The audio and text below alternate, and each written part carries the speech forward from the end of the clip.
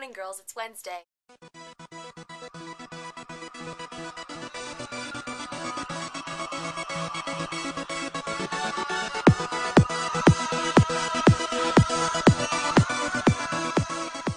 Part of me feels really pretentious wearing a hat indoors, but at the same time, the top of my hair looks really, really bad, and I kind of don't want to show it to the internet. So, apparently, our theme this week is Teach You Something, and so being the nerd that I am, I am going to give you several interesting facts, music history style.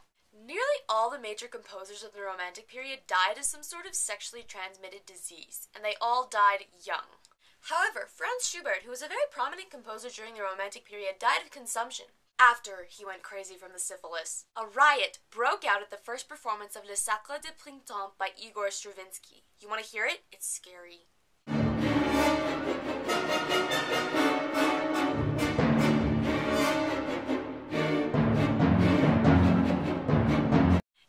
Girl who dances herself to death.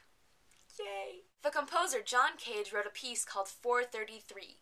It's 4 minutes and 33 seconds of silence. The famous violinist Niccolo Paganini, who lived around the late 1700s, early 1800s, was said to have made a deal with the devil because he played like he was possessed. If it weren't for his ballets, Tchaikovsky would be the seventh most played composer in the world. Because of works like The Nutcracker and Swan Lake, he is the first most played. Remember Schubert? He died of consumption before the syphilis got him. Well, there are six versions of his work, Die Forelle.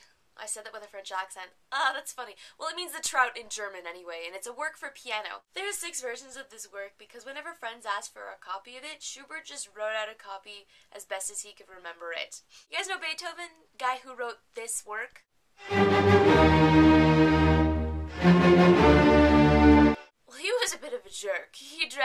Badly, didn't like to bathe, swore a lot, was rude to people, and had no shame in conducting affairs with married women. And they let him get away with it because, I mean, come on, he's Beethoven.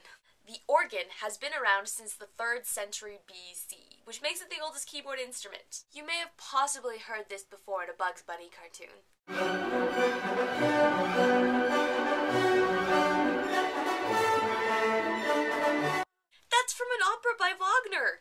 Classical music is used in ton of other movie and cartoon scores.